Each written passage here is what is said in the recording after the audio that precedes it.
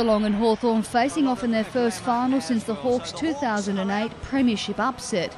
Since then, the Cats have won their previous six, and last week's 96 point hammering of reigning premiers Collingwood had the Hawks on alert. Alastair Clarkson recalled eight players rested against the Gold Coast last weekend, including Luke Hodge, Lance Franklin, and Cyril Rioli, with the small forward opening up the scoring.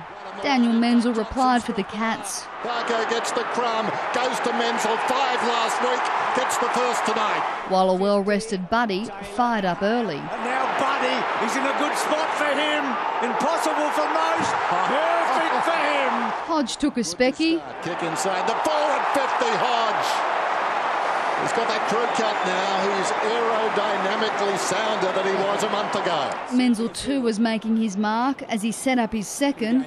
The Cats, though, were trailing by 11 at quarter time. He's kicked it well, so Menzel's a match for Buddy. Like that on the CV. They wasted no time in the second term.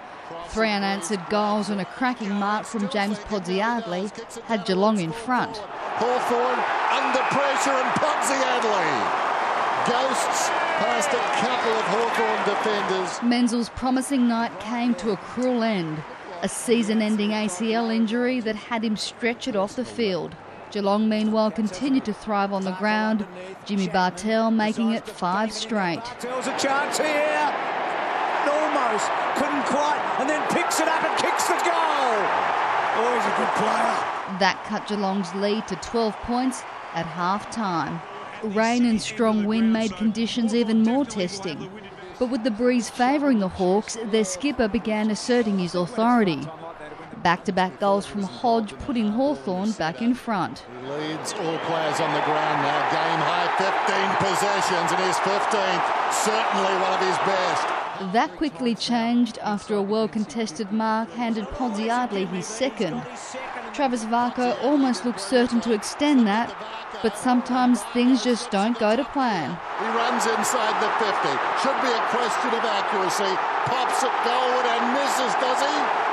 Oh, gee. It didn't matter. Geelong slammed in three in a row, two of them soccer style. Johnson will. Johnson! Around the corner, Soccer's another one. Brad Ottens with their fourth goal in five minutes. Kicks Truly. He's got his second, and Hawthorn have got a headache. A 50 metre penalty to Franklin cut the margin to 24 at three quarter time. Franklin's fourth revived some hopes of a late comeback. Oh, buddy! How about that? He's got four. But when Trent West headed north, the Cats were back in control. They're riding their. Oh, West! I said they were riding their luck, and he rode the pack. But the bigger blow was the sight of Franklin landing awkwardly on his knee. With Buddy out of the game, the Cats found more ammunition. Stokes is a mighty fine player. As we see now, good kick for goal. Speaking of him, Isaac Smith pegged one back, but it wasn't enough to help the Hawks snap their losing streak against Geelong. The Cats 31 point victors in another impressive performance, which also broke an eight game winning streak for Hawthorn.